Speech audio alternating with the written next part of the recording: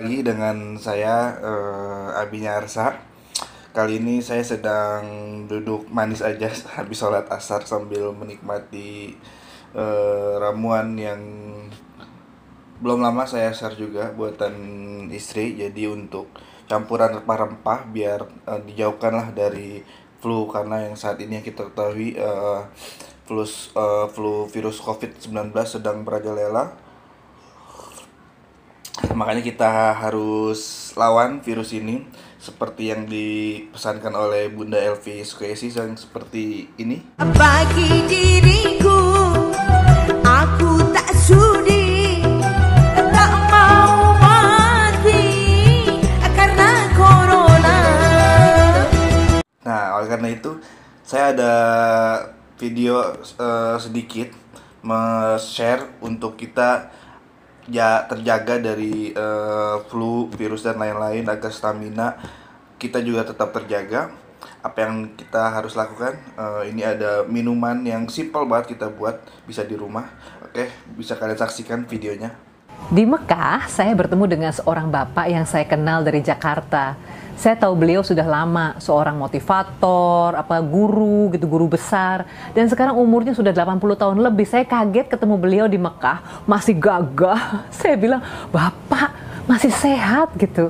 Terus Bapak bilang, "Iya, makan buah-buahan, sayur-sayuran, uh, jus katanya dia gitu. Dan satu guys, rahasia saya dia bilang.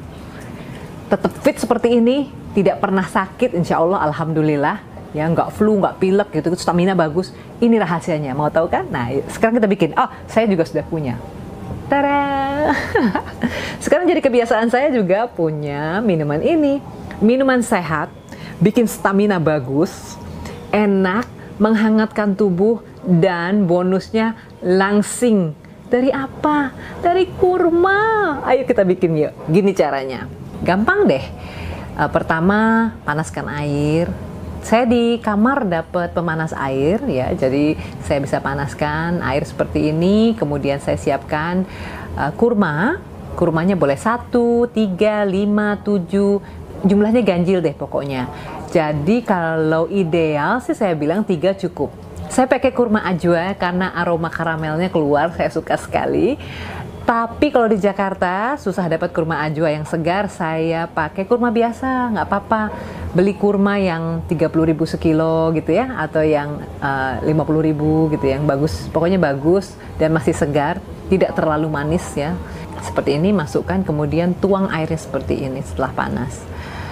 Ingat ya, waktu menuangkan kasih hipnoterapi, kasih doa, dikasih uh, ya di, dibikin dibikin pujian lah gitu ya. Oh buah yang baik gitu kan. Semoga jadi berkah buat kita berdua gitu jadi sehat uh, membuat kita sehat lahir dan batin kita dapat berkah dari Allah gitu ya. Kemudian tunggu sampai dia anget-anget kuku. Jadi tidak langsung diminum. Sehingga kurmanya sudah mencair gitu ya. Boleh aduk boleh tidak? Kalau saya tidak diaduk nanti di bawah-bawahnya kerasa tuh ada apa ada gula yang tertinggal di bawah.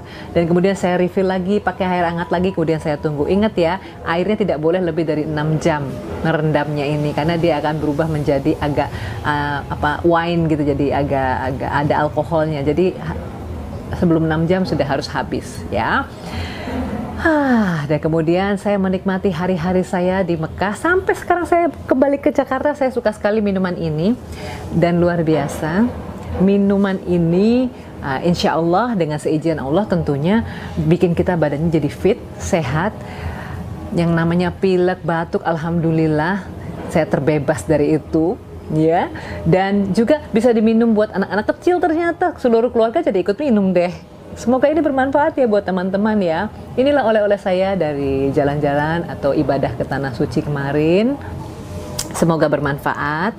Kalau suka sama video ini dan suka sama resep ini ya, biar sehat gitu ya. Bonusnya langsing di-share ke teman-teman yang lain. Siapa tahu bisa jadi obat juga buat teman-teman yang lain. Oke, okay?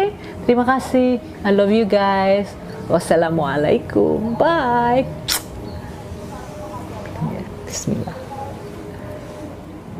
Oke, uh, seperti itu. Semoga teman-teman semuanya dapat mencoba di rumah dan insya Allah Kalau kita yakin insya Allah akan sehat kita jasmani serta rohani dan juga jangan lupa jaga pola hidup sehat dan terima kasih jangan lupa subscribe, like dan.